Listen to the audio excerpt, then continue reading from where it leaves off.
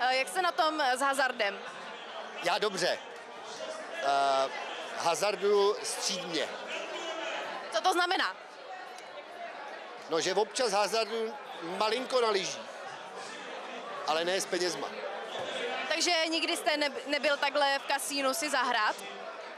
Ale jo, já jsem svýho času chodil na blackjack a vždycky jsem si vzal 2000 korun, za to jsem si vyzvedl žetony a hrál jsem si za 2000 a u toho blackjacku já jsem vydržel třeba tři hodiny, tak jsem se jako uvolnil, zahrál jsem si, pobavil jsem se, nikdy jsem nevyhrál, vždycky jsem ty 2000 tam nechal, ale e, to je takový, jako když si koupíte lístek do, do kina třeba, jo. To je prostě za tu zábavu jsem zaplatil.